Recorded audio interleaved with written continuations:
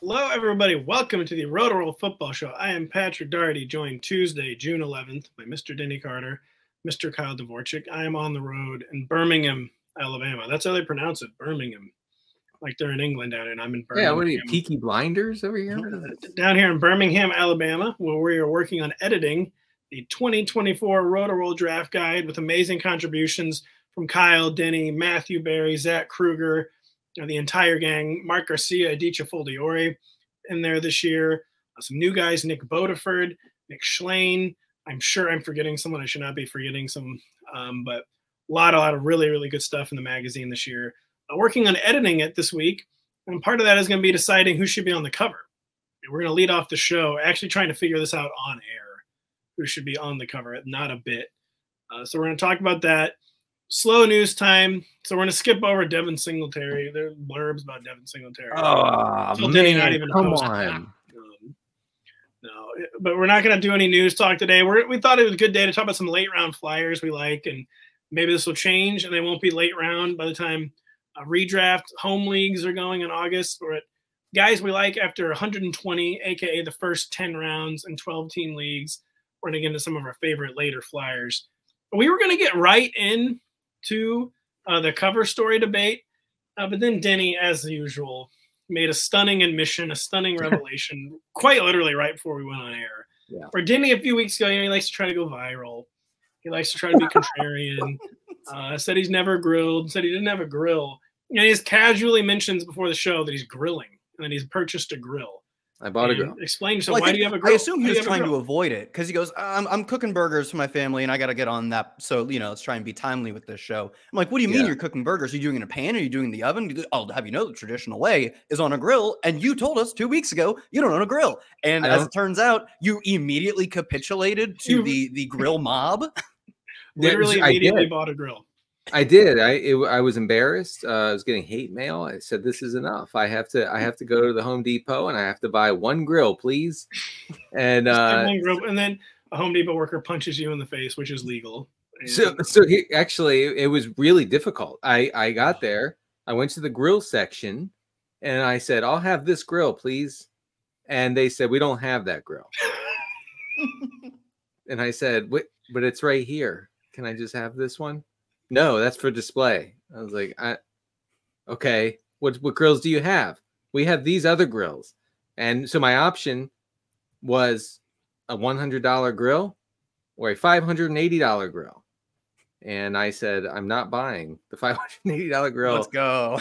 So you need a hundred dollar grill. Is this like a Weber one that doesn't even have like a shell, like a lid? It's actually a disposable grill, and Denny will be disposing of it after tonight. A circle of rocks. They gave you it, some flint. It should. Hey, it should last six weeks, eight tops. okay, and that's all I need. Um, it's small. It's embarrassingly small. Uh, um, I the one I wanted, guys, was perfectly fine. I mean, you know, like the, it, it was one where a, a dude would come up and pat it and go, uh, "Nice grill." But this one, the one that I ended up with, they're gonna look at it and be like, "What? What did you do? What is what this? did you do? Why did you? Do does this does this cook one burger at a time?" So, listen, I'm, I'm, I'm, embarrassed. I'm still embarrassed. Denny, I think the strategy for you was to go on Craigslist, Facebook Marketplace, one of these, and buy like a grill that cost eight hundred dollars in 2012, and be like, "I've been running this baby for miles. I fire it up every right. weekend when all when all the parents come over." Because yeah. you obviously wouldn't want to admit that not only did you just have to buy a grill, but you were too cheap to buy the nice one, and so you can only cook two burgers at a time. People start eating dinner at eight o'clock. on the too cheap thing, like listen, Denny's raising two children. That's not cheap. You you really couldn't afford a five hundred eighty dollar grill. Five hundred and eighty bucks. No really way, man. Five eighty. I've seen you. We've had meals that cost like two hundred and twenty dollars. Probably you, five eight. There's there was zero chance I was going for the five eighty. I would have had to mortgage my backyard. I don't even think it's, trips to Vegas and LA. Like the, the cheapest dinner we probably had was two hundred dollars. You really couldn't buy a grill. Well, I was going to say, if Denny buys a $580 grill, that's tonight's dinner is $580 and the grill never gets used again. So it's a $600 yeah. meal. Also, also, it was enormous. It was actually like comically large. Okay? Well, okay. Like, it fits the yard. Your yard gets a new hectare like, every day. I, I'm not an actual grilling dude. Like I, am not. I'm not one of these guys who like wakes up at four in the morning to start grilling for some well, reason. Clearly, you're not. You bought the hundred dollar one, right? Right. So and and also, I just want everyone to know, I will post zero zero pictures of this grill, zero pictures of anything I You make. probably already posted. I bet if I No. went to your account right now, there's a picture of the grill. No, no, no, no, no, no, no, no. Denny, there's you should do like a depth perspective thing, like how when people are fishing and they catch a small fish, you hold it out all the way, extend your arms so it looks bigger. You should do that with the grill. you know like what? put the grill close to the camera and you stand behind it. but Right. You can't see the depth, so you're like, look at my giant grill. I got up at 4 a.m. I've been been grilling these burgers for hours, baby. Right, right, right, and, and, and, uh, yeah, and why why are people waking up in the middle of the night to start to start their their food preparation? Do you want the meat tender or not? Do you want it tender or not? This is this is just ridiculous. This is why just food is just overrated. Like, what what are we What? Oh my We- God! Don't even dare echo the Solak take, please. To twelve hours. We will cancel the show if you go Ben Solak. On Kidding me? take. Just pour a bowl of cereal for God's sake. Just eat your soylent, eat your soylent filled with bugs and That- move on. Yeah, Ben was right. Ben's right. No. Yeah, I mean, Never it's been. a, it's a, a huge. There's literally waste never of- been a worse take on the internet. No offense to Ben Solak, but great offense to Ben Solak. No, There's but never been a listen, I'm with take. Ben. I heard I heard the take. I I nodded along. I said, "Yeah, it's a huge waste of time and resources to do all this stuff to eat." Denny, you know what's going to be very embarrassing tonight is when your in-laws, you go to show them your new grill, and they say, "Son, um, that's a microwave." Yeah, right. No, I mean my my father-in-law, who's a big, burly, tough dude, always has dirt under his fingernails. That kind of guy, right? I mean, he's he's a, he's a grinder. He's a worker. Uh, he's already seen it, and he snickered and walked away, and I was just humiliated. Denny snickered and walked away when he saw who we chose for our cover athlete last year because he did not agree for the 2023 Rotoworld Magazine cover star of Tony Pollard. Uh, Tony's time is what we went with on the magazine cover. And folks, sometimes here at Rotoworld we get it wrong. Yeah, wait. Look, we we don't get it wrong that often, though. I'd like to present you the magazine the year before That's that. Uh, That's true. Jalen Hurts scoring 20 rushing touchdowns. That's We got that one. So, you know. Sometimes we get it I wrong. was, yeah, I was ignored as I screamed to everyone who would listen. Too small. He's too Well, small. hold on, were you actually agree against the cover? Do we have this on, or like, or did you think it was good because it's like a debate? Embrace Oh, debate. I was against Po- Pollard. It's just too, he's too small. Are you kidding me? This guy, come on. Pollard was the cover guy last year. It didn't work out. Uh, we want it to work out better this year. When I say 2024 Rotoworld Magazine cover star Denny Carter, who first comes to mind? I mean, not a small guy. Not, oh, you got to cross out all the All right, small cross guys. me out. I'm not going on it. No, no, Kyle cannot be on it this year. Uh, Ladd McConkey, absolutely not. Too small. Bryce He's, Young, is Ladd even small? he's so small. I don't care. People say, "Oh, 6'3", 280, whatever." No, he's Isn't he not. 6'1"? No, he's not. He's he's he he's a fun like it looks good on paper, but but the guy he's too small. He's just too he's too thin. It's, He's the, the, his legs. Have you seen his legs? you kidding me? He looks small. So no, Ladd McConkey, by the way, has already been ruled out, Denny. So Yeah, uh, no, no. it- um, yeah. I mean, look, we we should go with a quarterback, and Kyle had a good suggestion before. quarterback. Why? It's not even a controversial position. We've been gassed with the quarterbacks, though. We got Jalen Yeah. Hurts before he had the ton of touchdown season. I believe we got Lamar going into the MVP season. I don't think it was coming off. I could be wrong, but No, it's we coming got- off. I was coming off. He was still. Uh, he got banged up the next year. Maybe we shouldn't. We did get Kyler Murray, who was good, uh, and then you look back at really, it's just the receivers or the receivers, the the running back is such a fragile position that it feels unnecessary to take on that risk. Though I do think courting a little bit of a, a I don't want to say controversy, but conversation. You know, you weigh those two things. How likely are we to be right? But like, you just put put Josh Allen on the cover and win every year, but it's not Yeah. fun. Right. Josh Allen would be a nice, safe little pick there. Yeah. we're trying to move units, so we like it to be a big name. Um, we've been thinking receiver. We've been thinking wide.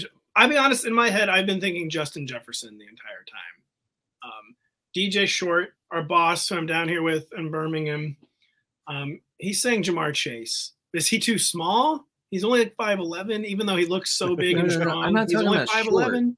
I'm not talking about short guys. That's not what I mean when I say small. Eh, The height has nothing to do with it. I, we're, Um, Oh, so that's far, I think we're me, thinking That's good for Ja'Marr. We're thinking Ja'Marr or JJ. We're yeah, I, I like Ja'Marr. Jam- I like Ja'Marr as an There's good angles with both because JJ he got paid. He's coming back from some adversity with the injury. He's got a new quarterback. Ja'Marr Chase kind of the same deal. Quarterback injuries, a little bit of an off season last year. Uh, there's adversity there with Tee Higgins. Will he be there? How much longer will he be there?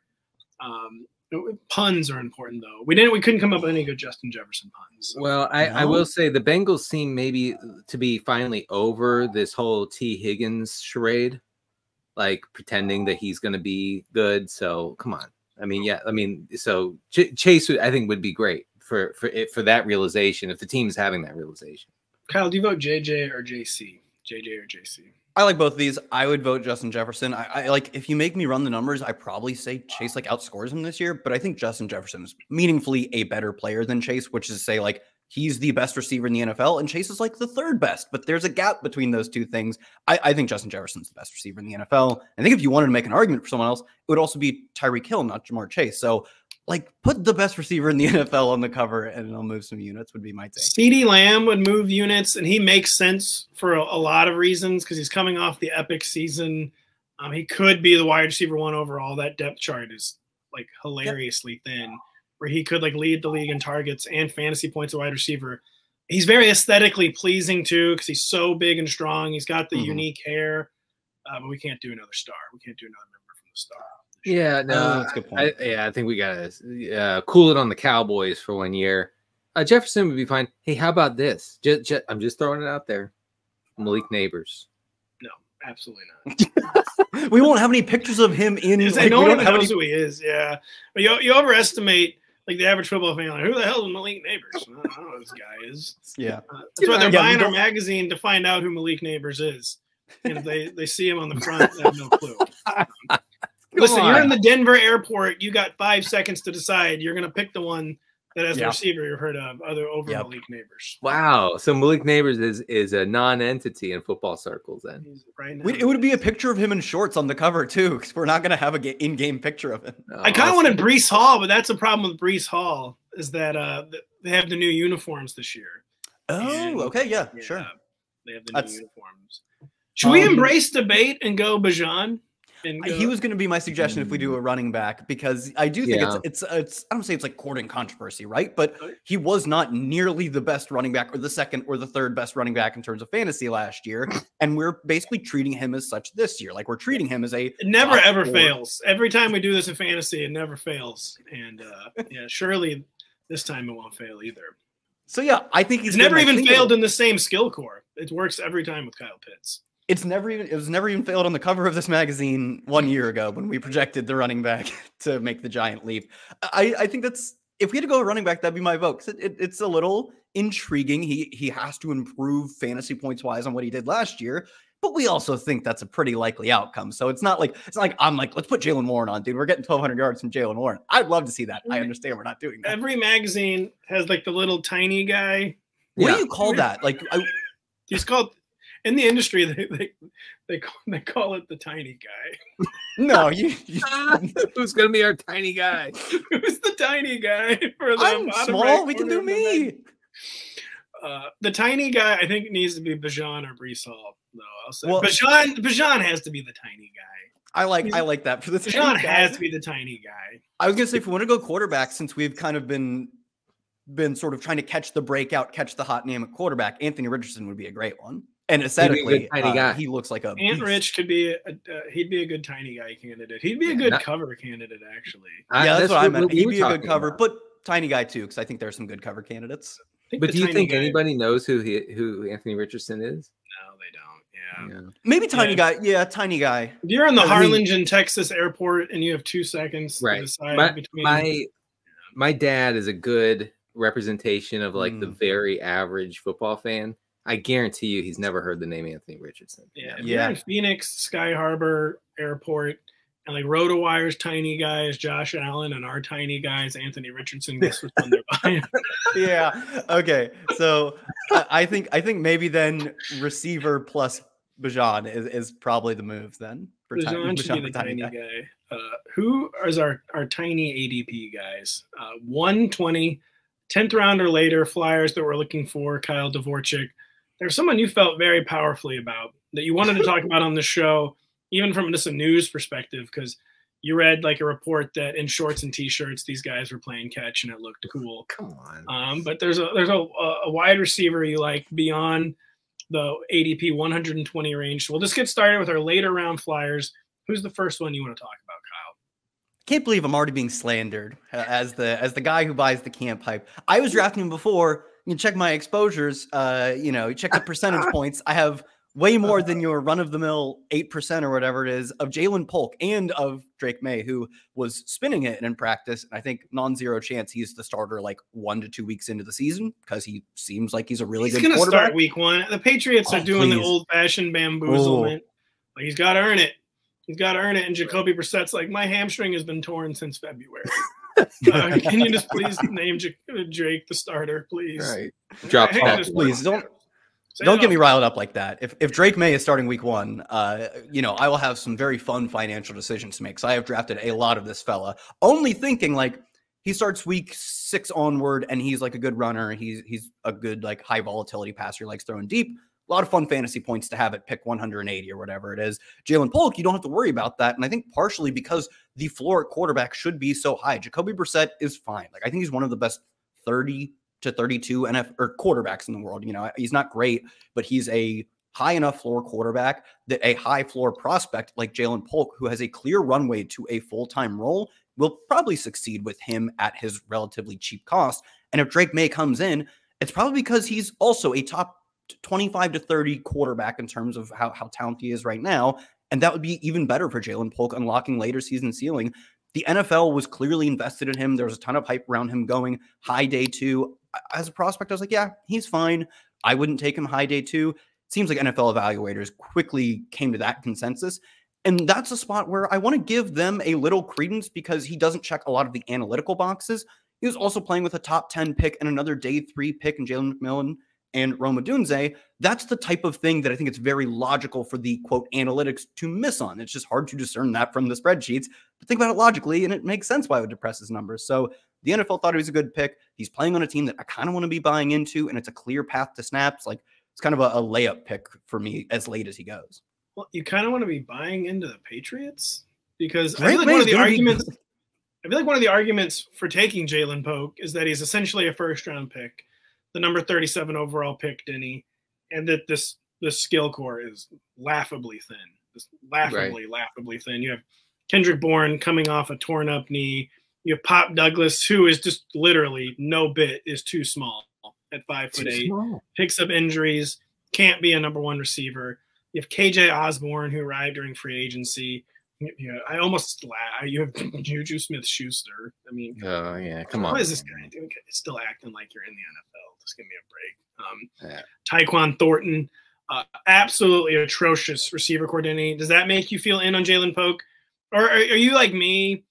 Like, uh, like I, I haven't even developed an opinion on Ja'Lynn Polk yet. Just because Uh, mostly uh, like, why am I thinking about the New England Patriots right now? Since I'm not a best ball I, stick. I kind of think, yeah, I think the Patriots.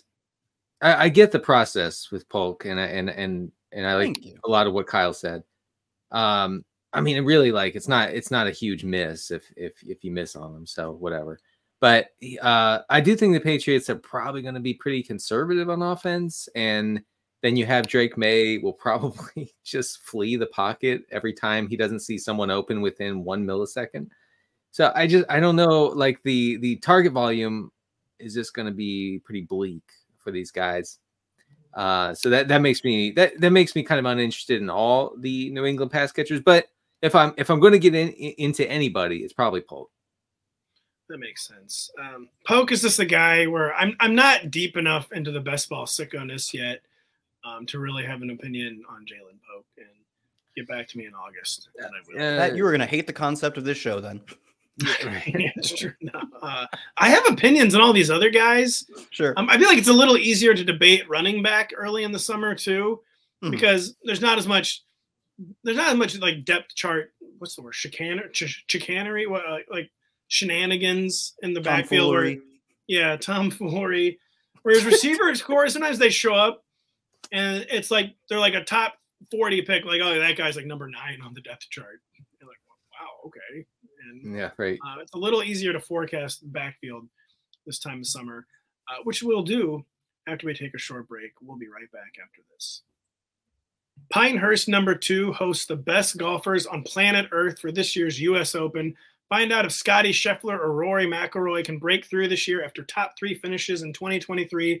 It's the 124th U.S. Open, Thursday through Sunday on NBC, USA, and of course, streaming on Peacock.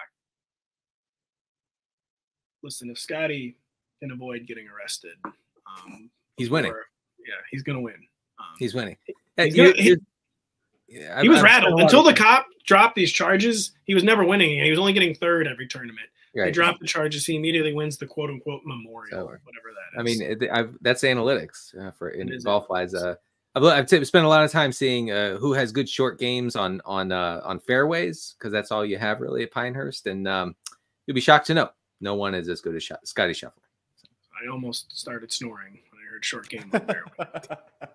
It's rude, honestly. I will be watching. Pinehurst is an all-time legendary course. Yeah, it really should be fun. A lot of these guys will be eaten alive. Like, Have they gonna- been there since the what is colloquially known as the Payne Stewart year? Or is Uh, the yeah, first th- time? 20, 2014, Ma- Martin Kaymer won easily. Almost started Sure. snoring. Yeah, Martin Kaymer. I haven't heard that name in a long time. Yeah, he plays on LIV. Um, he still hits golf balls. LIV is, is LIV still going? Oh, it's it's going. It's uh it's on if you get on your roof and you turn on YouTube at 3 a.m. on the East Coast, you can you can sometimes watch it. LIV is really exuding. Doesn't even want to be around anymore. um, anytime I see anything from it, Jon Rahm just basically looking like he's ready to retire and become a monk. Yeah. Uh, yeah, it's a pretty bleak scene. He got hurt last week too. So He we'll did. see. He did. He got hurt. Well, so we'll see if he can actually play in a real golf tournament this week on NBC. Danny, who's a real player that exists that you're drafting after 120 in fantasy drafts? Uh Noah Fant, folks. The time is the time is right for Noah Can Fant. I? I'm going to interrupt you really quick, Denny. 'cause When you said Fant, I'm like, does he mean Noah Fant? I was like, is there a rookie Fant I'm forgetting? Yeah, I was gonna say it's a Ja'Lynn Polk situation. You're like, Yeah. Polk, Polk, who is that? Oh, rookie, highly drafted. You know, they all blend together. And Are then you- no, you're like, oh no, it's Noah guys- Fant. you don't know you don't know what's coming for Noah Fant. Noah Fan is the late round tight end. I don't want to hear anything about Conk Daddy. I don't want to hear, you know, it's it's Fant. I'll tell you why. Okay. First of all, I'm I'm kind of bullish on this Seattle offense. Uh generally.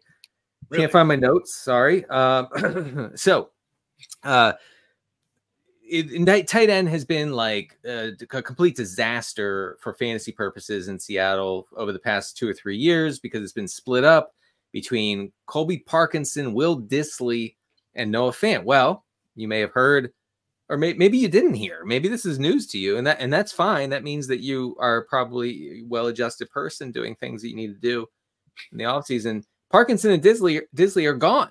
Okay, Dissly, the most important player in the franchise history, he's gone, and and so Fant Fant's going to be uh, the tight end one, like clear cut tight end one in uh, this new offense. Um, uh, Noah Fant led Seattle tight ends last year in pass routes, but only averaged 18 routes per game. That's pretty low.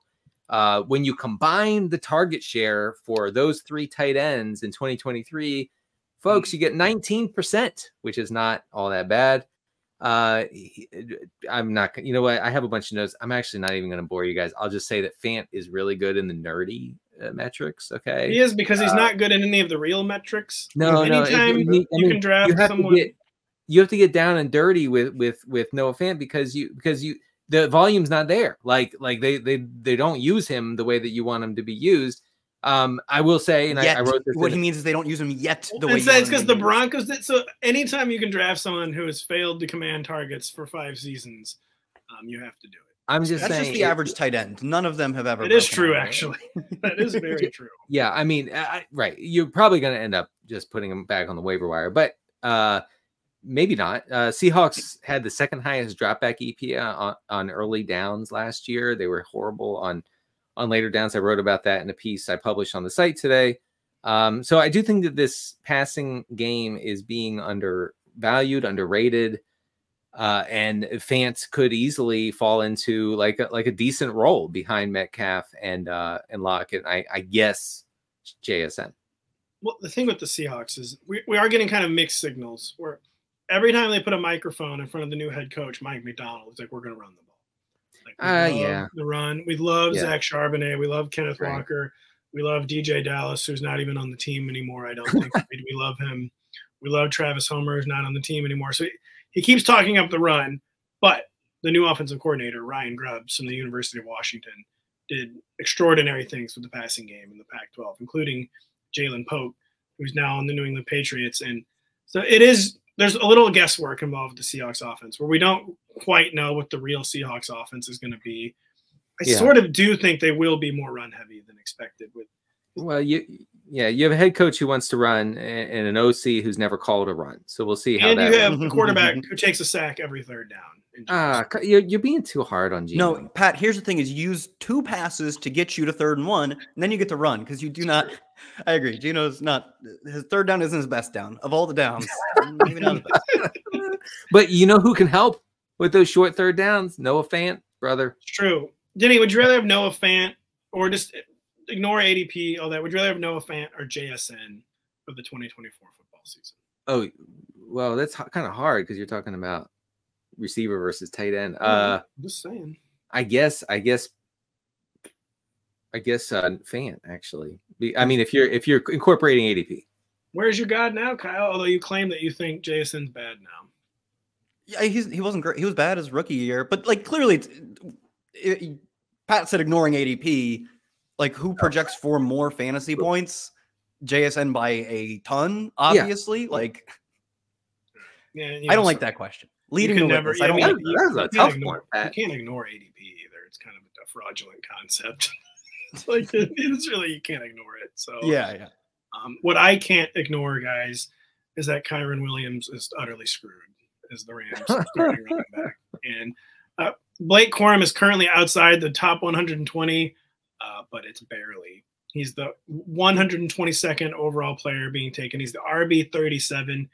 I think it's going to continue to rise probably, and I disagree with that. We're, I, I just I, people are probably already tired of hearing me talk about it in June because I have made the point so many times. So I am sorry for beating a dead horse, but I just think Sean McVay is out on Kyren Williams' durability. They make Blake Corum the third running back off the board. There's no chance in hell you draft someone who scored 27 touchdowns for the national champion Michigan Wolverines and you don't at least give them an opportunity at the goal line, especially if you think the running back in Kyren Williams is not durable. Like those are the most rugged carries on the entire field. I just think Kyren's in big trouble. I think the Blake Corum ADP, RB 37 is a kind of aspirational for Blake Corum, I will say. Uh, but I like him if he stays in like the 10 to 12 round range. And depending on like what summer narratives are with Kyren Williams, like he's healing really well, or he's seeing a foot specialist who said his foot will never get hurt again. Oh, Um, foot maybe- specialist is like the most ominous and very plausible news to come out in like a week before training camp, right? So first, I'll just ask you guys that: Do you think RB thirty seven for Blake Corum is is that a fish ADP or is that a sharp ADP? Is he already like? Is there no value left with Blake Corum, or do you think there's still Dan- Denny value left to be gained with Blake Corum? I mean, could be a lot. Could be a lot of uh value to be gained at, at, at RB thirty seven if if Kyren misses time, if Blake Corum like splits the backfield or takes over. Yeah, then you're talking about a, a- ton of value. I will say that, like in your in your home league, in your office league, or whatever, Corum's going to be going later than that probably. Yeah, unless unless we get true. news, unless we get news in the summer that Kyren Williams is down worse than we thought, then um, that then then that changes. But I, I I think I do think that the the way that early drafters, best ball drafters are evaluating this Rams backfield is going to be different um, than the the normal person, well-adjusted person. Um, but yeah, I, I think that's fine. I don't know. Maybe maybe Kyle will disagree. Hey Kyle, what are your thoughts on the Blake Corum Kyren Williams situation? Because you you tend to fall on like the sharper end of the spectrum in terms of like where you are. Like Denny and I are like, uh, especially me. Uh, Denny You- splits the difference Yeah, between you old got the you got the stupid stupid millennial take. Now let's go to the Zoomer. See what yeah, yeah, what's the, the the the zoomer who is out there do, grinding best ball drafts all the time? Where do you fall on the Blake Corum end of the debate? Yeah, Denny, I'll have you know, Noah Fant is my highest drafted tight end. I like that one a lot. You're drafted on DraftKings. He's the 20. He's pick 247, and you're like, There's a "Ah, reason for that. There's a reason for that. I love There's- it. Oh, look, Pat, there are a you're, you're going to have to apologize formally to us. I, I like that one. Yeah, Corn's Corn's fine. I think among the like stereotypical insurance handcuff type of backs, he is among the best. They have, I mean, McVay has talked up endlessly how they see him essentially as a Kyren clone. He's like, he does all the things Kyren does well. He comes in as like not the most efficient, but clearly an NFL ready guy. It's kind of how mm-hmm. Kyren was. He was he was a poor, very poor athlete, but he could do a lot of things at a medium high level. He's not the best breakaway runner. He's not the best pass catcher, but he can do some of that stuff. And I think that's how they view Corum. And maybe they view him as that plus goal line or plus every third drive, kind of the way we saw with, you know, Nick Chubb, Kareem Hunt a few years ago. So he's being priced, I'd say, perfectly appropriately. It's more so how how is your team built and can you handle a guy who I think probably projects for a lot of zeros? I think if all goes well, Kyren's getting enough snaps to basically render Corum as like you can't start him at all. But that's a that's an archetype that a you lot really of teams can so? just handle. I really think from the bat it's going to be a committee, like from the jump. I, I think they're out on Kyren, just to be totally honest.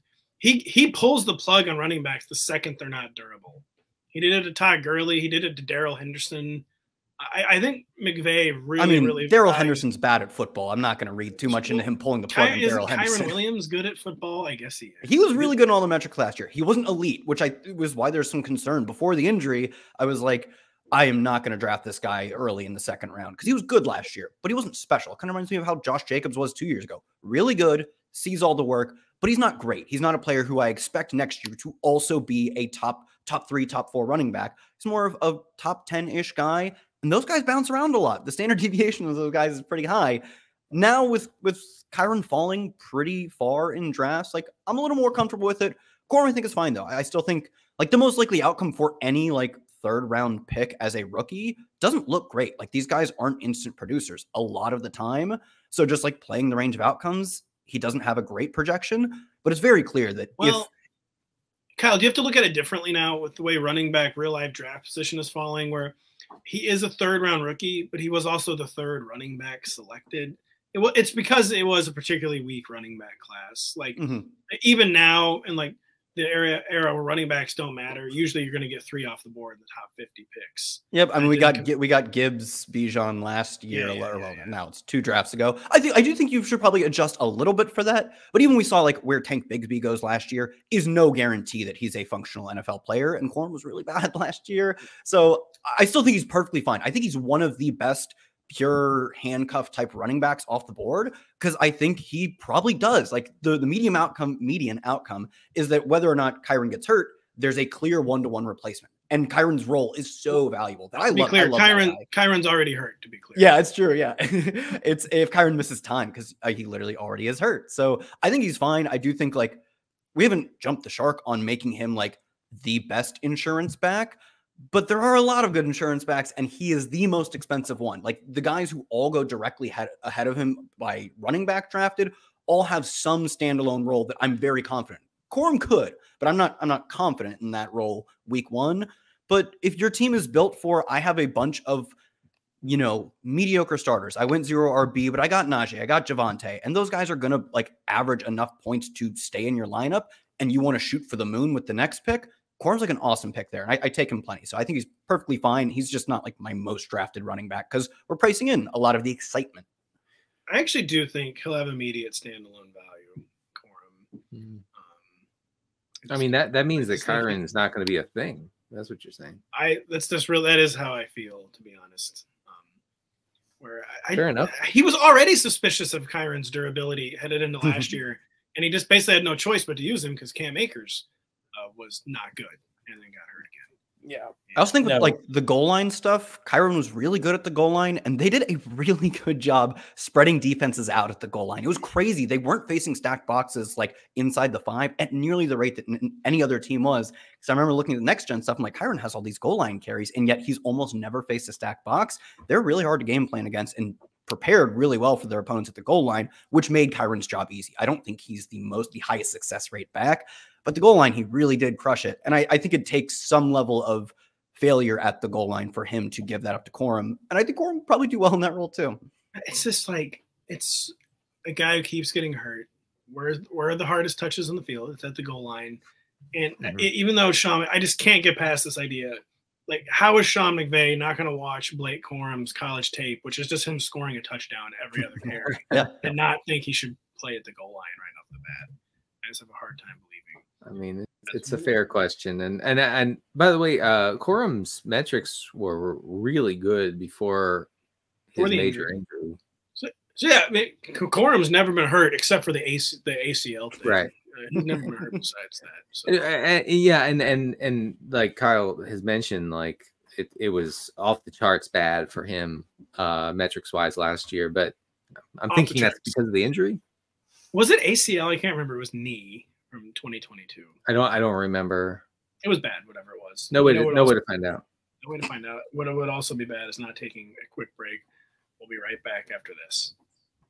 Don't miss the ultimate tryouts for a chance to represent the United States of America at the Olympic and Paralympic Games from June 15th to 30th. Noah Lyles, Simone Biles, Katie Ledecky, and more of America's best athletes compete for a spot on Team USA in Paris. Watch our country's brightest stars continue their quest for gold on NBC and Peacock. I will be watching. We love Watching. Katie Ledecky from uh, from Montgomery County, Maryland, folks.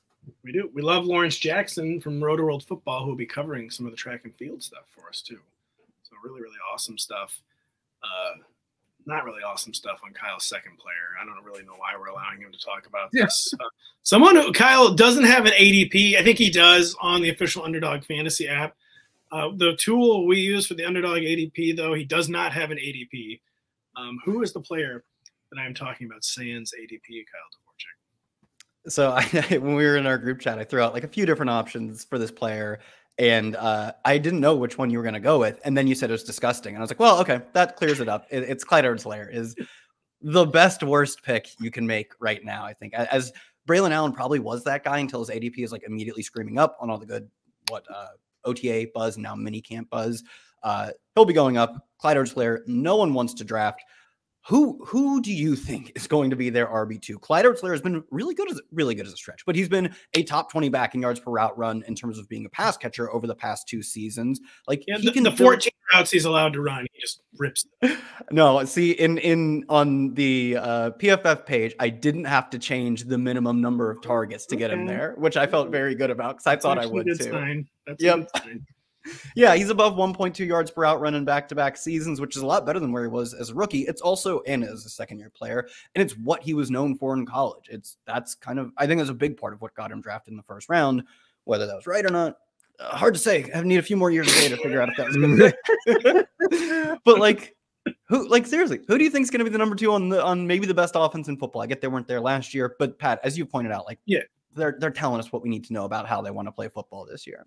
Yeah, I mean, and you're absolutely right. I when I just did our running back profiles, um, there's there is no competition for this number two It's job. Keaontay Ingram. I think they cut La'Mical Perine, if I remember correctly. They correctly. did cut Michael Perine. Deneric Prince is back for round two. Oh, The problem is, I wrote this um, in my CH write write up. Keaontay Ingram actually could just be better. That is a problem. Keaontay Ingram, not who was not good for the Arizona Cardinals, could just be better than CH, and CH might not get this number two job. But being the incumbent, being in house, being you know fully familiar with the Chiefs' offense is going to be a huge leg up. And that number two battle, Andy Reid has preferred a two back backfield for a long time now in Kansas City. They don't really want Isaiah Pacheco catching the passes. They might not even want him pl- playing those kind of snaps. Like a lot of times, you catch a pass, you instantly take a big hit. Like a guy who's already taking so many hits, they might want to not expose him to even more contact like that. Where I could see them maybe trying to use CEH as a, a more traditional, like pure third down back because Jerick McKinnon seems like he's not coming back for real this time.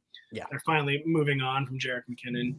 And yeah, CEH, as disgusting as it seems, uh, does have like a long, long runway to earning number two duties for the Chiefs, Denny. I would uh I would like to introduce you. Don't tell me about the damn rugby player. Yeah, stop, That's right. stop, stop. No, no, no. I, Was I right? Was that where this is going? I'd like to introduce you to a rugby player who is going to be the RB two for the Kansas City Chiefs this year. It's it's it's Louis Rees-Zammit. Okay. Uh, signed a three year deal with the team. Three years, folks. I'm pretty sure it's like the standard UDFA type of Yeah, deal. would it's be my assumption. I don't think that was standard. I I don't remember that being described as standard. No, it is. Uh, and then anytime something like this happens, like all the guys who love to tweet out contract, you got a three year deal. Like you don't you don't still see this. I'm just often. it's just something to note. Okay. Uh, uh, Andy Reid said Rees-Zammit will quote start off as a running back they'll use him in in, in AK several when he ways. fails there, they'll move him. To I'm just I'm just saying that CEH no juice, none, zero. Uh, Okay. Tell you what, CH though, his big advantage, CH's big advantage is that he is a football player. Uh, That helps a lot in playing football. Or I so mean, I've heard. it could help. I, I I agree that could help. It doesn't guarantee anything. This CH, this is the most mid running back maybe of our generation. Okay, Coaches You know what he is, though? the- they love bad running backs. They love They them. What are you saying, Kyle? Denny, No, name me don't. a Denny, What? name me another player who has never played football at a professional level and at a skill position. There are actually a few uh, linemen who are like rugby players and stuff. I'm just, I'm not saying week one Rees-Zammit's going to get 15 touches. I'm just saying as as as things wear on, he could be. He well, uh, here's what he'll do. He'll make it that, so that Ceh is unusable in fantasy. That that's what I would say. Do you over under 1.5 career touches for Louis Rees-Zammit? What are you guys This- taking? Wait, what? Uh, it's got to be under. over I feel like the the median outcome has to be under. Hammering the under on one and a half career touches Has to be right. for LRZ. wow, you're- Hammering the under. I All think like well, the only well ho- do, do like kick returns count? I don't think they do. Touches me or No, catches. they don't. They do not. Okay, Offensive definitely touches. has to be under then. The only thing he has going for him in terms of this bet would be he is an international pathway player, and I believe you get like an extra roster spot for those guys. So he like if he's a good kick returner, he maybe gets to show up to games. But like the under one and a half touches has to be the correct move for a has never played football football player. He's, Uh, he's uh, Andy Reid conceded uh, going from pro rugby to the NFL is quote not an easy transit transition, but he seems to be wired for the NFL game. He's w- been working nonstop with Patrick Mahomes in Texas this offseason. I'm just saying keep him on your radar. CEH, I'm not doing the CEH thing. I'm sorry. I, mean, I will find any reason not to do. I don't CEH. blame you. It's not fun. I'm actually the, CEH thing. I hate it, but you kind of got to do it this year. I, uh, you don't got to do it. You don't got to do Kinda gotta anything. do it. The McKinnon role was so good too. That was the scammiest, most but McKinnon efficient, is fun. Denny's saying anytime you can draft Sandro Platzgummer 2.0, the real heads will remember Sandro. What a cut. Um, you got to do it. That's a good So, cut. you got to do it. Um, yeah, At producer Adam, you got to bookmark this, please. you do. I, we should actually bet. Do you want to bet on career over under one and a half touches? I'm in total do- shambles in week 14 when he gets two touches and then he retires after the You're going to be in shambles in week two, brother.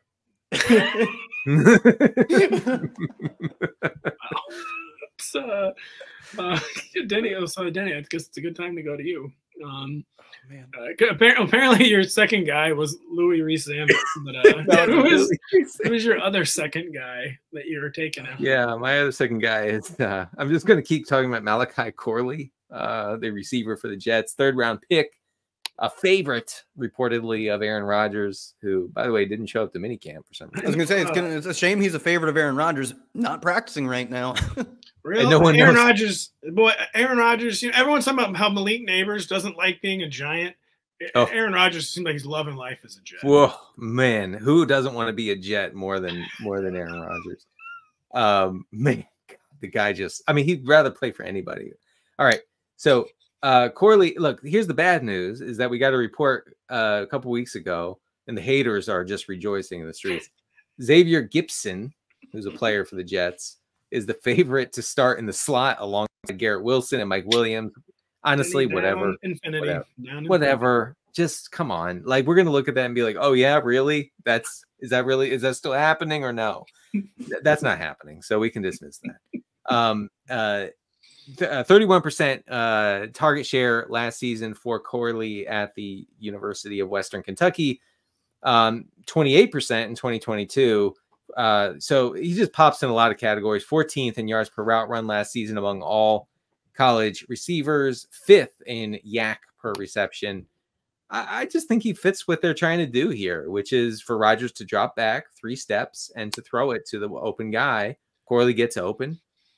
Uh, you know, I think it could be could be a scammy thing. Could be fun.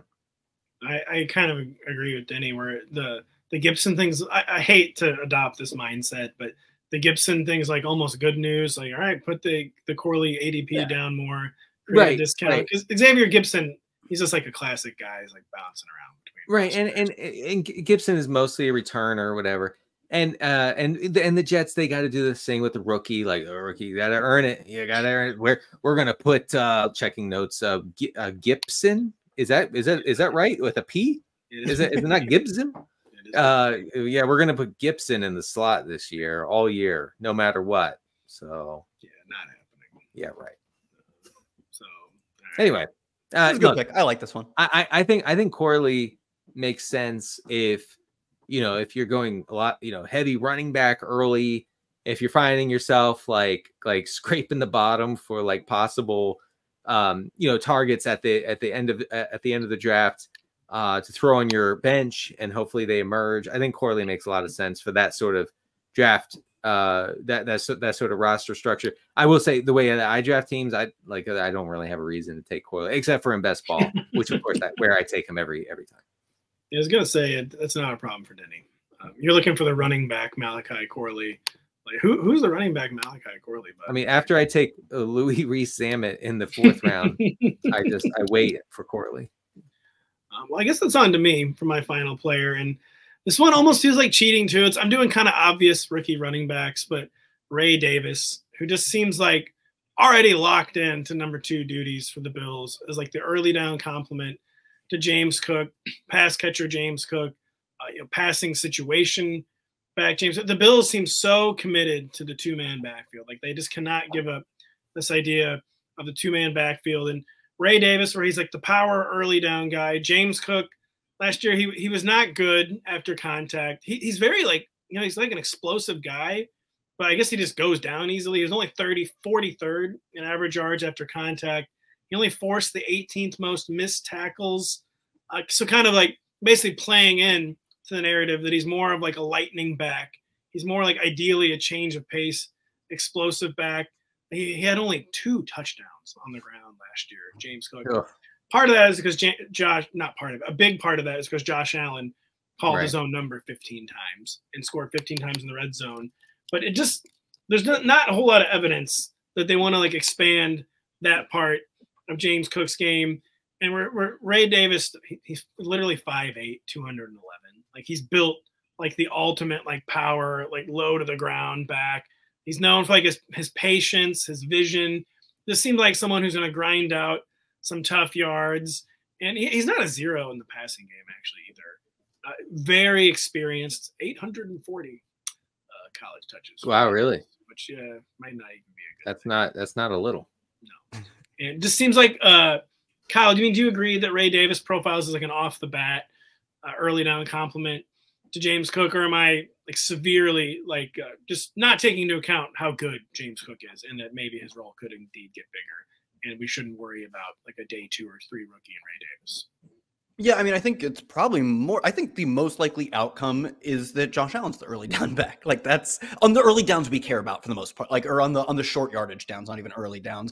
I think that's the most likely outcome because sort of like we've talked about with uh, Jalen Hurts. Like, could they get rid of the tush push? Absolutely.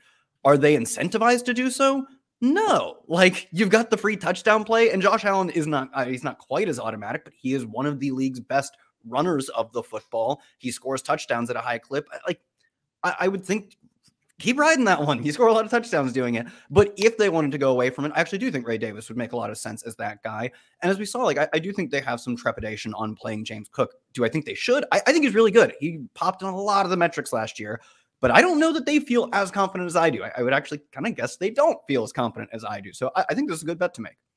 It's just it's like I I just uh, this is another horse I beat to death, but once you get typecast as a guy who's better as a third down or change of pace guy, James Cook is used more than a third down or change of pace back, but coaching staffs love to typecast running backs, and Yeah. they just seem to not think James Cook will ever be like a true three down bell cow type of guy. Yeah. I, I will say that in the in the Ray Davis could be the early down like hard yardage guy. He was what do you say? He's like five five eight or nine and he's two five ten. eight, five eight. Yeah. Uh, those are those are the Jaylen Warren metrics, who uh, is apparently a scat back. So we are we will be bringing that one back up uh, sometime soon.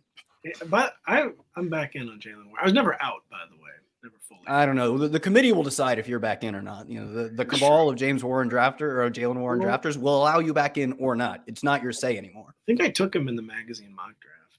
Oh, that's good. Okay, You we'll let you back in. Welcome Yeah, back. Yeah, you did. It was actually like the most annoying pick I've ever. When I was actually on the clock, so yeah, yeah, never mind. Yeah, I, you, you ruined my entire draft. Thank you. Sorry about that. We're almost done. Kyle, you had did you have a bonus player that I was going to? Yeah, I threw in a bonus player. I wasn't sure if we were. I well, I, I told you guys we were going to say CH was too ugly to do, so I was like, we can do a fun one. We can do a fun one. This one I actually think is like a, a, a good pick that shouldn't make you uh shouldn't make your tummy upset.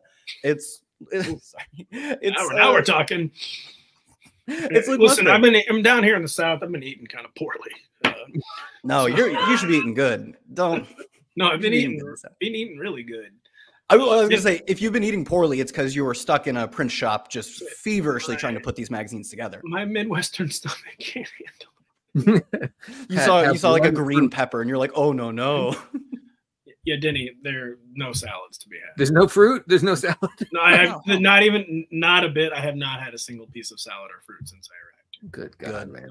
But who's the bonus player, Kyle? Good luck. Bonus player Luke Musgrave was like a top 20 receiver in most of the efficiency metrics last top 20 receiver, top 20 tight end, and most of the receiving metrics last year. Top 10 on E ESPN's open score was a rookie who immediately got playing time, and now he's on an offense that we are all losing our minds to draft players for, which kind of good. Jordan Love's really good at the end of the year, and you watch him, you're like, that guy looks like he's gonna be good for a long time when you watch him play. And the numbers were really strong over the second half of the year. Yet Luke Musgrave, because we're not entirely sure he's the starter, is getting almost no love in drafts. Tucker Tucker Kraft isn't even practicing right now. At least he wasn't as of like a week ago. I think they said they expect him. They expect him back. We'll see for training camp. Like expect him back for training camp is is like get ready to miss most of the preseason. Like we hope you're Hey, back. guess who else is expected back for training camp? Kyren Williams. I look, I'm not trying to go to bat for Kyren. I, I that's don't put me in the camp. Don't put me in the the Kyren camp. Guess who else is expected back for training camp? Uh, Anthony Richardson. Ugh. wait, he, nah, is, he's at least on the field or something, isn't he? Yeah, he actually is. Yeah, that's right. I was gonna say Hey, Joe, he- Joe Burrow said he might play this season. Yeah, we got that going for us. Stop. All right. Yeah, Sorry. I mean to be to be fair, he he said he should be ready to go to start the season. Joe Burrow, besides saying he's going to have to throw differently for the rest of his career, I really loved everything he said. Yeah, but I wait, I is that true? Yeah, yeah, I think it's great that um, all the news coming out of Cincinnati says that Joe Burrow definitely will play eight, 17 games this year. The, uh, the hand reattachment went well. Yeah, right. Too soon. Anyway. Uh, but yeah, you like Luke Musgrave, Kyle. He's he's uh, one of the better. I think he's not going quite as late as Noah Fant. So if you kind of block off the really late guys, I think he's one of the better. Yeah. true breakout. Like Noah Fant, I think you're hoping for six or seven hundred yards, like on a true high end outcome. Luke Musgrave could be like a true tight end one for fantasy purposes because he flashed a lot as a rookie, was a super athletic prospect, and he plays on an offense we want to draft guys from. When you were talking about the Packers, Kyle, I had an intrusive thought where like I loved watching Jordan Love play. Like I felt like totally wrong on Jordan Love, and just he was like a joy to watch play. But man, uh, I sort of wonder if the Packers are going to be one of this year's like biggest money losing offenses out there in fantasy. And like we just overestimate how truly arrived Jordan Love and this offense are, and if he's going to be ready for the adjustments they're going to be thrown at him this year. Right. And Yeah, there, there, his- there are there are some numbers to, to suggest that Jordan Love is going to be kind of boom busty, um, you know, it, kind of inconsistent. So it is it is true that um, he didn't do well in like the more stable passing metrics, and that No. that makes me think that you might be onto something. especially the first half of the year. And like, I think we should weight the more recent stuff higher than we should weight, but like, it's not that different. They both happened in the same calendar year. It's not like we're saying, ah, well, he was he was bad in 2021. No, like he he was really struggling in some of the advanced metrics over the first half of the year. He had a few hot touchdown games, but they're like big YAC games, and then he meaningfully looked better in the second half. We should wait the second half more, but do we want to ignore the first half of the season where we're like, I just don't know if this guy has it anymore or ever had it really because we hadn't seen him. And then he did have it over the second half. But like, we're dealing with small samples here. Crazy things happen in small samples all the time. Mhm. And it's not like Mhm. last year I'm saying it was 16 good games. Like eight, eight really, really good games. But Pat, I think you're totally right to be like, there is there is room for error here. We are not, we haven't arrived. We are on the plane is on the runway to leave, I think. Probably. Yeah, I just don't know if your 10 best plays of the season should all be off your back foot throws. And if that is really the most uh, repeatable recipe. It, but it worked for it worked for Aaron Rodgers, and It's true. He- Jordan Love just seems like a baller. So, but there there's probably more volatility there Yeah. than we would like to acknowledge. And but man, by the way, the Dallas Cowboys or the Dallas Cowboys, I just would have considered not getting blown out of my own building by the Green Bay Packers. Oh man, you know, I, I remember I, I didn't have a strong feel on that game until they showed the Packers sidelines before the game, and I was like, "Hmm, "This is over. This game's over." These guys, these, these guys are playing with house money. It doesn't it, like they're they're cool, calm, collected. You look over at the the Dallas sideline, and they were basically just all having internal panic attacks. McCarthy is sweating bullets. He's Yeah. like, all right, I- just I gotta they win had against the lower seed this time. Right? They had everything to lose. It was it was. I just knew at that moment. I was like, "Oh, the Packers will win easily." Yeah. They'll win easily. Um, later this week, we have another show Thursday. It's it's hard for me. It's hard for me to give it up, but I'm I'm taking off Thursday to help get this magazine into production. Denny Carter is going to be hosting with Mr. Kyle Dvorchak. Uh, Denny, uh, you have an article that you're going to Yeah. want to talk about on Thursday. What's it about? Tell the people about it. Yeah, check it out, and then you're going to break it down on Thursday. Mm, Yeah, right. Uh, it's on the site now. It's it's just about uh, players who are going to be in what I think are insanely positive offensive environments who I think are being undervalued or underdrafted right now, and I I, I think have a good chance to continue in that direction, being undervalued uh, going into the summer. So listen to Denny, listen to Kyle on Thursday, listen to me having extreme FOMO, and like five minutes before the show, being, maybe I should, maybe I should just come on and do it. You're, you're just going to barge in in the middle. Yeah. Hey, maybe I should just do it. And yeah, yes, let's just be legends. Let's do it. And you guys are like, it's fine. You don't need to do it. Um, nah, let's just do it. I just, just to be safe, let's do it. It's going to be Denny and Kyle on Thursday. Check it out. Thanks for checking us out today. Check out Denny's article. Check out this draft guide once we get it on newsstands and online um, later this month in June. Uh, so for Denny, for Kyle, and Pat, thanks for listening. Show will be back later this week.